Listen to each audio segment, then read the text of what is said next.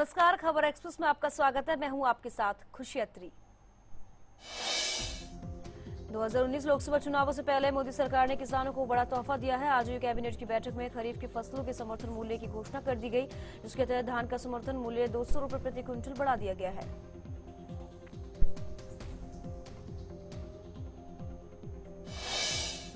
बता दें, इस बढ़ोतरी के बाद अब सामान्य धान का समर्थन मूल्य पंद्रह सौ पचास रुपये से बढ़कर सत्रह सौ पचास और एक ग्रेड धान का मूल्य पंद्रह सौ नब्बे रुपये से बढ़कर सत्रह सौ नब्बे प्रति क्विंटल हो गया है।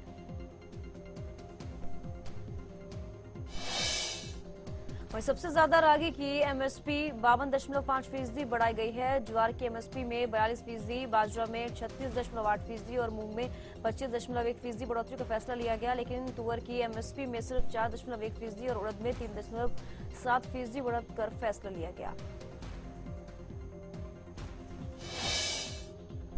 दिल्ली की आम आदमी पार्टी सरकार और उपराज्यपाल के बीच काफ़ी लंबे समय से चल रही जंग के बीच आज सुप्रीम कोर्ट ने ऐतिहासिक फैसला सुनाया है। सुप्रीम कोर्ट ने कहा कि उपराज्यपाल दिल्ली में फैसला लेने के लिए स्वतंत्र नहीं है। एलजी को कैबिनेट की सलाह के अनुसार ही काम करना होगा।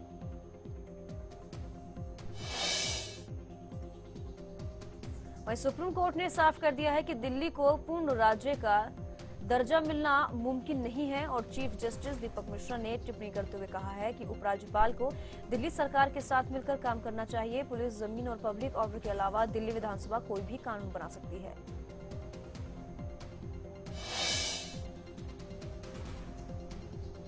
राज्यपाल शासन लगने के बाद पहली बार गृह मंत्री राजनाथ सिंह दो दिन के जम्मू कश्मीर दौरे पर जाएँगे। बता दें, राजनाथ सिंह की ये यात्रा कल से शुरू होगी। गृह मंत्री इस दौरान जम्मू कश्मीर की सुरक्षा का जायजा लेंगे।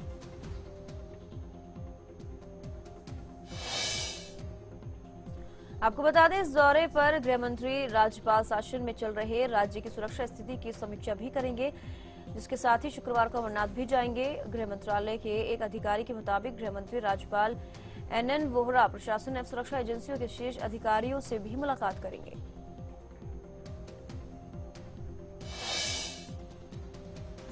अमरनाथ में भूस्खलन की वजह से बालटाल रूट के बराड़ी मार्ग पर पाँच यात्री की मौत हो गई और तीन घायल हो गए हैं। बता दें कि अमरनाथ यात्रा इस बार खराब मौसम के चलते कई बार प्रभावित हुई है। वहीं एक पुलिस ऑफिसर ने बताया कि बालटाल में रेल पथरी और बरारी मार्ग लैंडस्लाइड की वजह से दुर्घटना हुई है। उन्होंने बताया कि पाँच लोगों की मौत हो गई, जिसमें चार पुरुष, एक महिला शामिल है।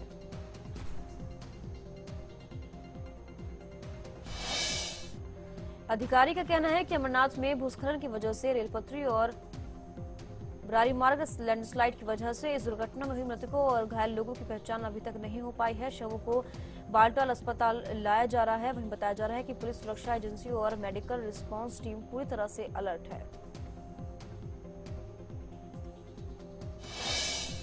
जनजागरण अभियान के तहत सांसद राजकुमार सैनी आज सफीदों का दौरा करेंगे। अभियान के तहत सांसद सैनी कई कार्यक्रमों में शिरकत करेंगे। तयशुदा कार्यक्रम के तहत सांसद सैनी गाँव मूलक में जनसभा को भी संबोधित करेंगे। वहीं जन जागरण अभियान के तहत सांसद सैनी लोगों से मुलाकात कर उनकी समस्याओं को सुनेंगे। सांसद सैनी के सफेदों दौरे को लेकर लोगों में काफ़ी उत्साह है और सांसद सैनी के जोरदार स्वागत की तैयारियाँ भी पूरी की जा चुकी हैं। आज से दिल्ली में दो दिवसीय राष्ट्रीय किसान महासंघ की राष्ट्रीय कार्यकारिणी की बैठक होगी। बैठक में राष्ट्रीय किसान आंदोलन की रूपरेखा तैयार की जाएगी और इस बैठक में देश भर के 132 गैर राजनीतिक किसान संगठन शामिल होंगे। साथ ही हरियाणा से भी कई किसान संगठन बैठक में शिरकत करेंगे। आपको बता दें कि किसान स्वामीनाथन आयोग की रिपोर्ट लागू करने और मुआवजे जैसी कई मांगों को लेकर आंदोलन की तैयारी कर रहे हैं। इससे पहले भी किसानों ने 10 दिनों के देशव्यापी बंद का आह्वान किया था, जिसके तहत किसानों को मंडी तक जाने से रोका गया।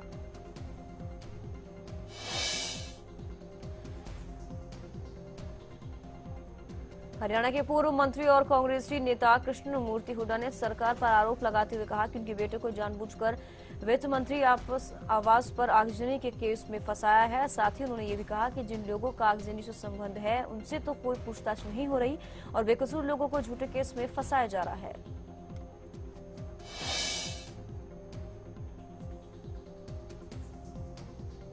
वहीं हुड्डा का कहना है कि पुलिस ढाई साल तक तो छानबीन करती रही और उस वक्त उनका बेटा कसूरवार नहीं था, लेकिन सीबीआई ने मंत्री अभिमन्यु के इशारे पर मेरे बेटे को झूठा फंसाया।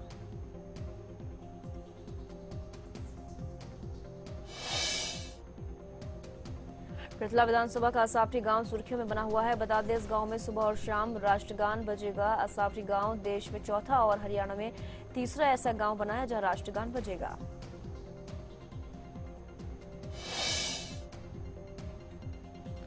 आपको बता दें कि हरियाणा में राष्ट्रगान बजाने वाला असावटी बेशक तीसरा गाँव बन गया है, लेकिन ये तीनों गाँव फरीदाबाद लोकसभा के पटला विधानसभा क्षेत्र के ही हैं। और केंद्रीय मंत्री ने विधिवत रिबन काटकर इसका शुभारंभ किया है और इसके साथ ही गाँव में सीसीटीवी कैमरों का भी शुभारंभ मंत्री जी ने किया।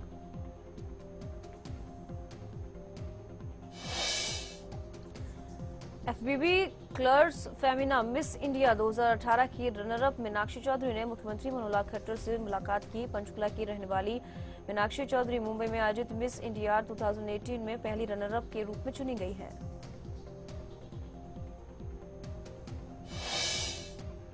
और वहीं इस मौके पर मुख्यमंत्री ने कहा कि पिछले पहले जिस प्रदेश को लिंगानुपात की बुरी स्थिति के लिए बदनाम किया जाता था, लेकिन सरकार के तीन सालों में लगातार किए गए प्रयासों से आज हरियाणा को लिंगानुपात में सुधार और संतुलित करने के लिए जाना जाता है। उन्होंने कहा कि हरियाणा में बेटियों में प्रतिभाओं की कमी नहीं है। उन्होंने कहा कि प्रदेश की बेटियों ने हर क्षेत्र में नाम कमाया है।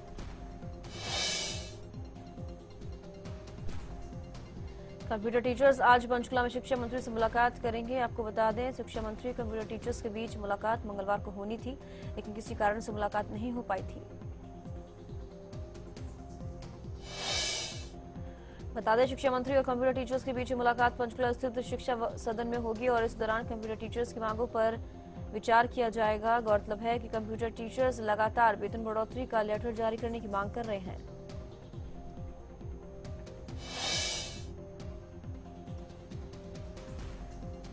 रेवाड़ी ज़िले के गाँव रतनथल के राजकीय सीनियर सेकेंडरी में पिछले साल करीब 600 छात्र शिक्षा ले रहे थे, लेकिन स्कूल में शिक्षकों की कमी के चलते अब इस स्कूल में अट्ठानवे छात्र ही रह गए हैं। वे बच्चों की माने तो स्कूल में मैथ और साइंस के शिक्षक परीक्षा परिणाम खराब रहा, जिसकी वजह से कुछ छात्र स्कूल छोड़ कर चुके हैं।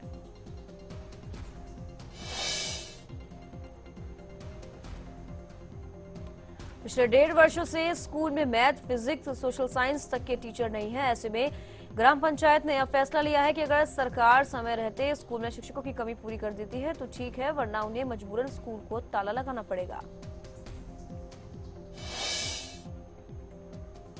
झज्जर जिला प्रशासन ने बेहतर काम करने वाले विभागों को प्रोत्साहित करने के लिए अनूठी पहल शुरू की है। झज्जर ज़िले की उपायुक्त सोनल गोयल के मुताबिक जिला स्तर पर हर विभाग के कार्य का मूल्यांकन होगा और बेहतर काम करने वाले विभाग को star department of the month का सम्मान दिया जाएगा।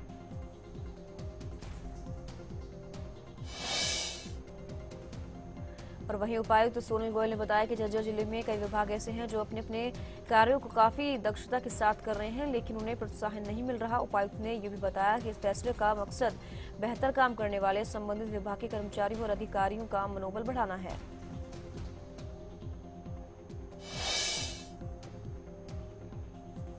भिवानी में दिन दहाड़े लूट का मामला सामने आया है, जहाँ एक व्यापारी की गाड़ी का शीशा तोड़कर बाइक सवार युवक ने तीन लाख चौरासी हज़ार रूपए निकालकर फरार हो गया है। पीड़ित ने घटना की सूचना पुलिस को दी, जिसकी शिकायत थाना प्रभारी जय सिंह ने दर्ज कर ली है। आसपास के क्षेत्र की सीसीटीवी चेक किए जा रहे हैं। साथ ही उनका कहना है की जल्द ही पूरी घटना का खुलासा कर आरोपी को गिरफ्त में लिया जाएगा।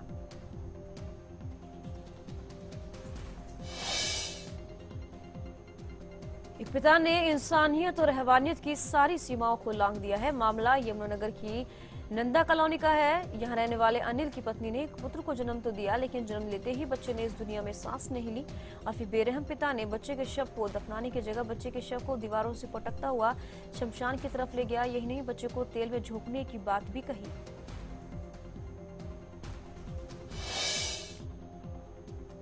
बताया जा रहा है कि डॉक्टर ने मृतक बच्चे को, उसके पिता को सौंप दिया, जिसके बाद वह बच्चे की दोनों टांगों को पकड़कर उसे कभी दीवार से तो कभी बिजली के खंभे से पटकता हुआ शमशान की ओर ले जाने लगा।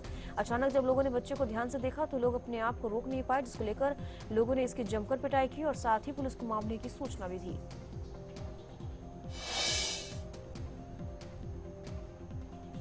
वहीं पुलिस ने मौके पर पहुंचकर बच्चे के शव को कब्जे में लिया और आरोपी को भी पकड़ लिया है। पुलिस ने पूछताछ के दौरान ये तो साफ़ कर दिया है कि बच्चा मरा हुआ, पैदा हुआ था। फ़िलहाल पुलिस शव को शमशान में दफनाने की बात कह रही है।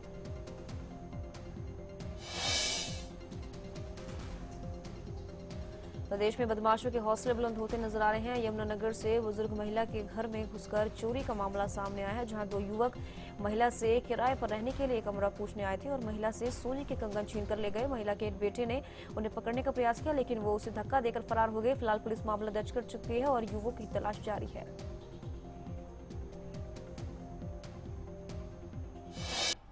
और ये रुक रहे छोटे से ब्रेक के लिए। जल्द हाजिर होंगे।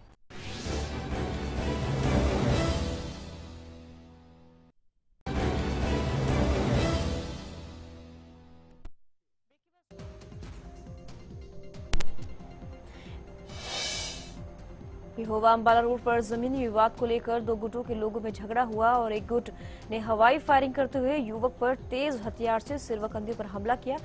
बता दें, पीड़ित को सरकारी अस्पताल में उपचार के लिए दाखिल करवाया गया है। बताया जा रहा है कि पीड़ित पुलिस में कांस्टेबल के पद पर कार्यरत है। फ़िलहाल पुलिस ने बयान दर्ज कर मामले की जाँच शुरू कर दी है।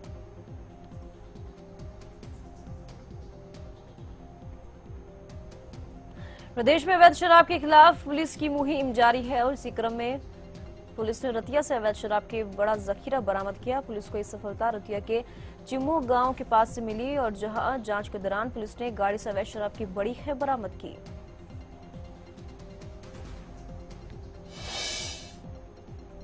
और वहीं पुलिस अधिकारियों के मुताबिक पूर्व सूचना के आधार पर पुलिस ने इस गाँव से जाने वाले रूट की नाकेबंदी की और वहाँ गुजरने वाले गाड़ियों की तलाशी शुरू कर दी। तो अवैध शराब की पेटियों से भरी गाड़ी को कब्जे में लिया गया।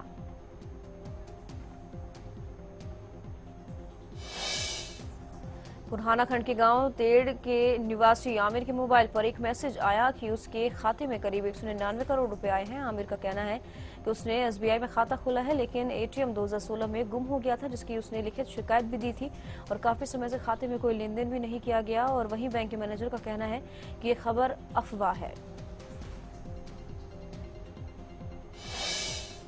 दिल्ली के सरफरा बाज़ार में सोने की कीमतों में गिरावट दर्ज की गई। कमज़ोर वैश्विक संकेत और स्थानीय ज्वेलर्स की ओर से घटी मांग के कारण गोल्ड चालीस रुपए कमज़ोर होकर इकतीस हज़ार तीन सौ साठ रुपए प्रति दस ग्राम का हो गया है। बता दें, सोने की कीमतों में करीब तीन सौ रुपए तक की गिरावट देखने को मिली और वही चांदी, इंडस्ट्रियल यूनिट्स और सिक्का निर्माताओं की ओर से कमज़ोर उठान के चलते पचास रुपए गिरकर चालीस हज़ार तीन सौ रुपए प्रति किलोग्राम के स्तर पर आ गई है।